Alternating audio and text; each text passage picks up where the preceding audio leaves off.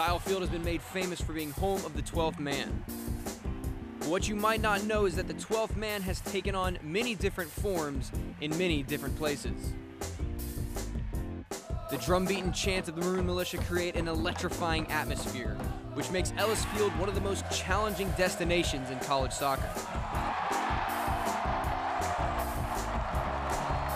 The Aggie softball complex, the Sugar Daddies ensure that any opponent that the team faces will never have an easy pitch and never have an easy at bat.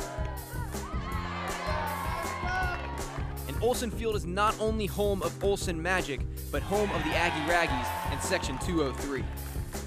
Coach Childress said himself, there has never been a more challenging place to come play ball, and there has never been a more enthusiastic and die-hard group to support their team. No matter the venue,